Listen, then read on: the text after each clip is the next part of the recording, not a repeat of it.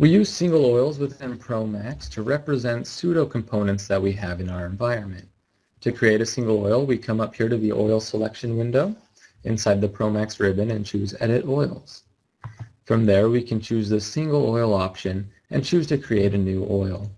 This will bring up our oil property window.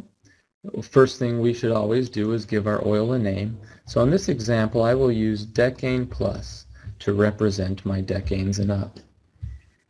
Here is a list of the different properties available for this oil, and there's a minimum amount of information we must provide ProMax in order to create this oil.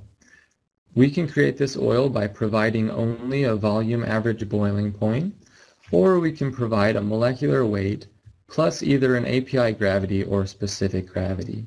So if I had a molecular weight of 225 pounds per mole and an API gravity of 35, I would input those numbers.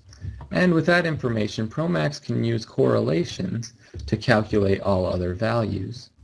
Now, if you as the user have additional information and would like to override any of these values, you can certainly do so, and this will provide you with an even more accurate representation for your pseudo component.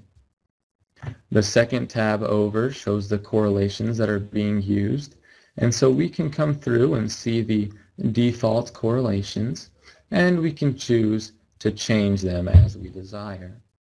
Once we have finished choosing our correlations and inputting our information, and click OK, we'll see our oil now shows up in our oil list. Lastly, it is important that we add this oil to our environment. So if we open up our active environment and come to the Components tab, We'll now see our created pseudo component underneath the available oils. Once I push that over to the right side, this will become an installed oil which will show up in our components list. This can be illustrated once we open up a stream and here on the composition tab we will see our oil now in our composition list.